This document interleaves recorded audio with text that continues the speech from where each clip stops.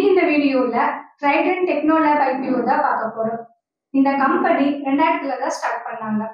இவங்க என்ன செக்டர்ல இருக்காங்கன்னா engineering power and design solution அது போக டெக்னிக்கல் எஜுகேஷன் சர்வீசஸும் இவங்க ப்ரொவைட் பண்ணிட்டு இருக்காங்க.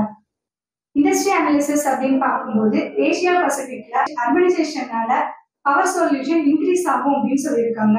Especially India China Japan and Australia CNGR report படி இன்ஜினியரிங் சொல்யூஷன்ல ரெண்டாயிரத்தி இருபத்தி எட்டுல ஃபோர் பாயிண்ட் டூ பர்சன்டேஜ் இருக்கும் அப்படின்னு கொடுத்துருக்காங்க. பவர் சிஸ்டம் சொல்யூஷன் பார்த்தோம்னா சிஏஜிஆர் ரிப்போர்ட் படி ரெண்டாயிரத்தி இருபத்தி எட்டுல டுவெல் பாயிண்ட் ஒன் பர்சன்டேஜ் இருக்கும் அப்படின்னு சொல்லியிருக்காங்க. இன்ஜினியரிங் சர்வீசஸ்ல ஆர்ஓசிஇ பார்த்தோம்னா twenty nine point three nine percentage கொடுத்துருக்காங்க இந்த கம்பெனியோட ஆர்ஓசிஇ பார்த்தோம்னா twenty three point nine six percentage கொடுத்துருக்காங்க. இந்த கம்பெனி லாஸ்ட் இயர் பார்த்தோம்னா கவர்மெண்ட் ப்ராஜெக்ட்ஸ் தான் அதிகமாக எடுத்து பண்ணியிருக்காங்க.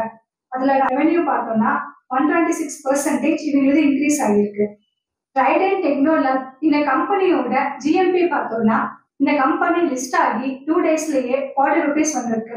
மார்க்கெட் இதே மாதிரி போச்சுன்னா செவன்டி ஃபைவ் ருபீஸ் வரைக்குமே இது போக வாய்ப்பு இருக்கு. லிஸ்ட் ஆகி டூ டேஸ்லயே ஹண்ட்ரட் டைம் சப்ஸ்கிரைப் ஆகி இருக்கு அதனால இந்த ஷேரோட லிஸ்டிங் கெயினுக்காக அப்ளை பண்றவங்க அப்ளை பண்ணிக்கலாம்.